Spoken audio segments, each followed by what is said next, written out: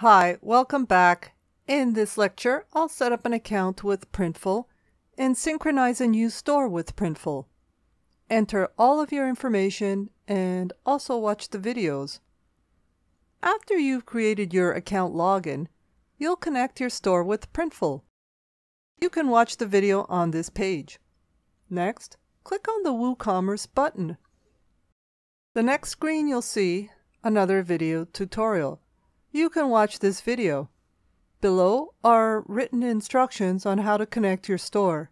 I'll show you how I connect my store. You set up your API in WordPress. Before you connect your store to Printful, you have to enable permalinks. Go back to your WordPress dashboard, go to Settings, select Permalinks.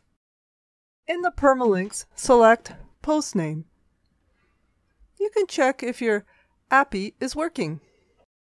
In the browser, you can enter your website URL. You can check if the URL is correct, and API is enabled by adding forward slash WC hyphen API forward slash V1 forward slash to the end of your URL and entering it in the browser. If you see a similar code like here, then it is okay. If you see something similar to what I have displayed, which contains JSON code with your store information, then your WooCommerce API is working.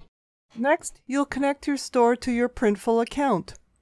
Enter your website URL and hit connect. Next, you'll see a WooCommerce screen with the list of what Printful will be able to do with read-write access to your store.